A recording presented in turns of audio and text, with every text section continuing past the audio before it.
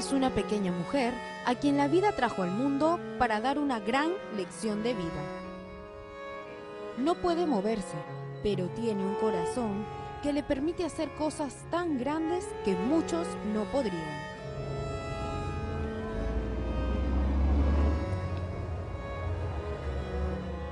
Tiene 35 años y no solo ha sufrido por su notoria discapacidad, pues el golpe más fuerte tuvo que afrontarlo hace 14 años, cuando un desgraciado le robó la inocencia al abusar de ella y dejarla embarazada.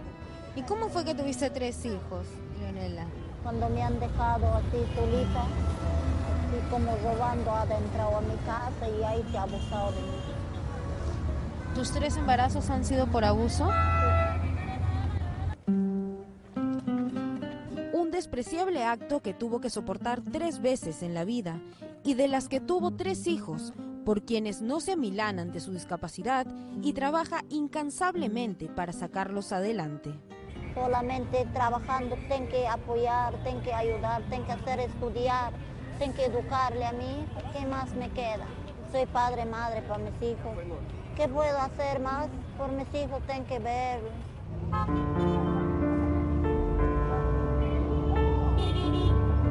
Donde estamos ahorita es el lugar donde quieres cumplir tus sueños, que es construir la casa para tu familia, para tus hijos. Sí, señorita, este urgente necesito, señorita, porque mis hijos, ¿dónde voy a dejar el día que yo me muero también? Acá quiero dejar a mis hijos.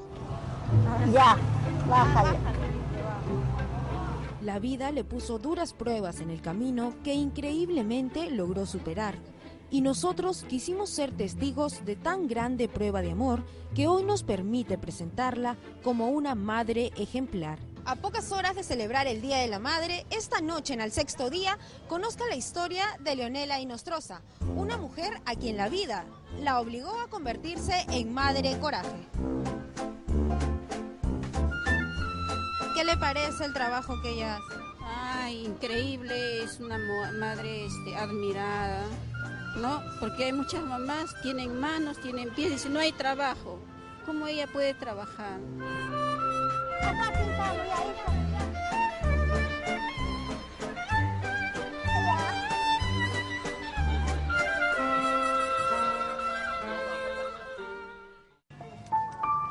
Leonela llegó a Lima hace 10 años para emprender el más duro camino de su vida. Son las 8 de la mañana y así empieza nuestro día junto a Leonela. Vamos a acompañarla y ver cuál es este trajín previo que ella tiene que realizar antes de llegar a Bancay y empezar su día de labores. Cereales.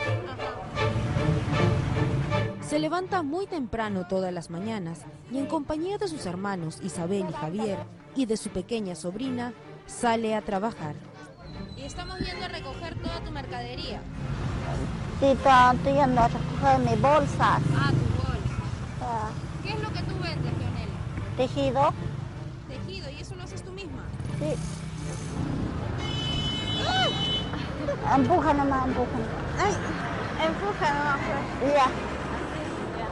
¿No te ha pasado que nunca te has resbalado, no? Sí. Se me he caído varias veces, me he caído. ¡Ah, me voy a- Tuvo que separarse de sus hijos y dejarlos en Huancayo al cuidado de su madre para poder venir a la capital a seguir luchando por ellos. ¿Y cómo se llaman tus hijitos? Se llama Isaac. Isaac, el mayor. El segundo. La segunda se llama Anita. Y el último. Mi último se llama Aid. Recorren las calles de Lima y con su mercadería suben a un bus que los lleve hasta el cruce de la avenida Bancay y Colmena, la esquina que la coge hace algunos años. Un favorcito, ayúdame a mi bolsa. Yo te ayudo, yo te ayudo a llevar. A ver, ¿puedo Sí, llevar un favor. Acá este me sombra también. Yo llevo esto. Ya.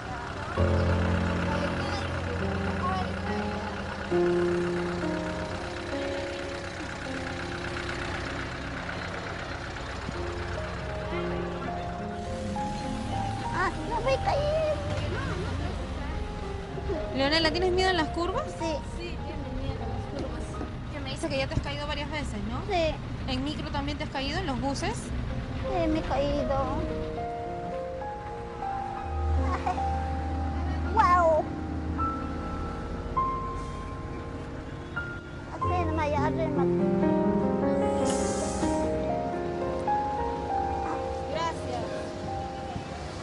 Ya estamos en Abancay, en la avenida Abancay.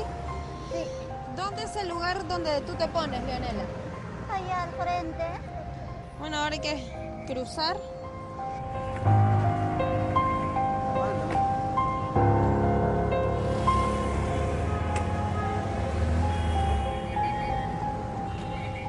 Llegamos.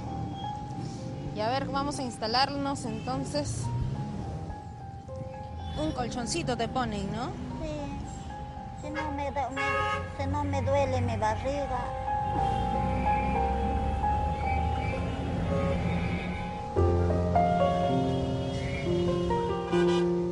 Mi ma- mi mano encima, ya, Tu mano encimita. sí, me duele. ¿Te duele la manito si no?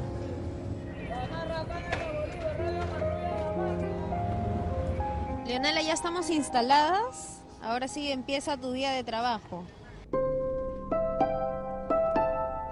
Ella nació con una malformación en el cuerpo y sufre de polio debido a una complicación que tuvo su madre durante el embarazo, que casi las deja sin vida. Casi ha muerto mi mamá conmigo cuando estaba embarazada de tres meses. Fuerte trueno, relámpago allá por la sierra. Ahí es lo que la ha hecho asustar a mi mamá y así he nacido. Desde pequeña aprendió a tejer y a desenvolverse por sí sola, utilizando solo la boca, y este don, como muchos lo llaman, se convirtió en la herramienta perfecta para generarse un puesto de trabajo. ¿Y qué es lo que más te cansa de, de tejer? Porque es complicado maniobrar todo con la boca, ¿no? Sí, todo me canso, escribir, dibujar, pintar, tejer. Solamente trabajando tengo que apoyar, tengo que ayudar, tengo que hacer estudiar, tengo que educarle a mi hijo. ¿Qué más me queda? ¿Y todas estas cositas tú aprendiste a hacerlas sola? Los muñequitos, los zapatitos. Sí, todo solita he aprendido. Todos los días que vendo, señorita, si no, ¿de dónde sacaré para que comen mis Claro. hijos, para que se visten, para que educan? ¿Cuál es el más difícil de todos? Todo. Por ejemplo, en el, en el León me paso cuatro días. Cuatro días haciendo los leoncitos. ¿Y qué tal es la venta acá en Abancay? Si hay días vendes, hay días no. ¿Hay días que no vendes nada? Sí. Sin embargo, este gran sacrificio tuvo que emprenderlo casi por obligación hace 14 años, pues sin pedirlo, Leonela se convirtió en madre por primera vez. ¿Y cómo fue que tuviste tres hijos, Leonela? Y, vos he llegado, me dijo, cuando me han dejado así solita, así como robando, ha entrado a mi casa y ahí se ha abusado de mí. ¿Tus tres embarazos han sido por abuso? ¿Y tú pudiste denunciar a esas personas? ¿Pudieron hacer algo? ¿Estabas tú sola?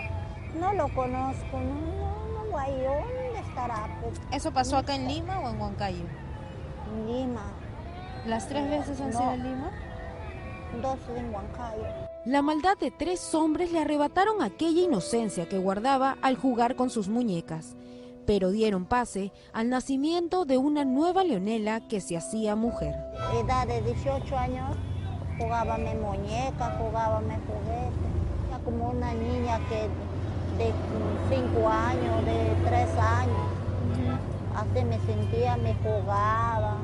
Ya mi embarazo cuando apareció me sentí mal. ¿Estaba en tus planes ser mamá en algún momento o no querías? No quería, señor. yo no quería. Yo no puedo dejar a mis hijos, no los puedo dejar. Por, él, por ellos me siento, cuando está en mi lado, alegre. Cuando está lejos, me siento triste. ¿Los extrañas mucho? Sí. Y yo también tengo miedo. Otra vez que me va a pasar, ya tengo miedo. Es, es complicado. Y otra vez que me pasa, ya ni muero ya. No, Leonela, vas a ver que no. Ahora, Tabel y Javier no la dejan sola ni un solo segundo y junto a ella viven el más grande sueño de su vida, poder construir una casita en un pequeño terreno que acaban de regalarle en un alto cerro de Villa María del Triunfo. hemos llegado a este Cerro Franco terreno. Acá está mi terreno. ¿verdad? Este es el terrenito que me dices que te han regalado. Sí. Estamos en Cerro Franco. Mira, por favor, la inmensidad, la altura en la que estamos. Y cuando tú te puedas venir para acá con tus hijos, ¿vas a dejar de trabajar en el centro? Sí, de acá voy a ir a trabajar, señorita. Acá te irías hasta el centro. Sí, si no, ¿qué voy a hacer, señorita? Porque prefiero ahí trabajar porque para mis hijos, pues así trabajando moriré también.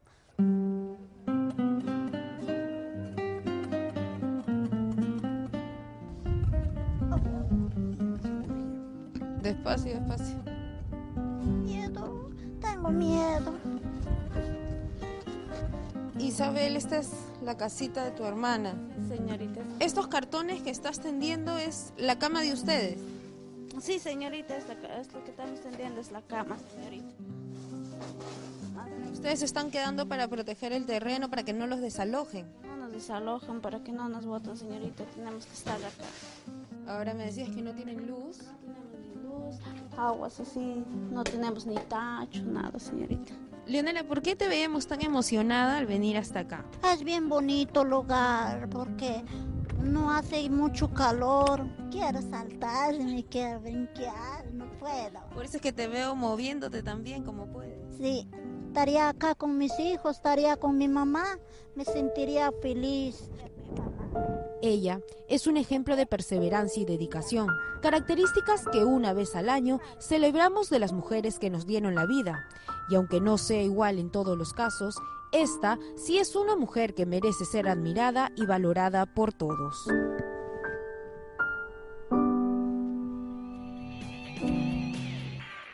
este tipo de historia nos sacan de la realidad, ¿no? De nuestro estado de confort. Qué increíble. Sus tres embarazos, los tres producto de tres violaciones. Una persona absolutamente incapaz de defenderse. No sé qué decir ante eso. No sé qué decir. Terrible.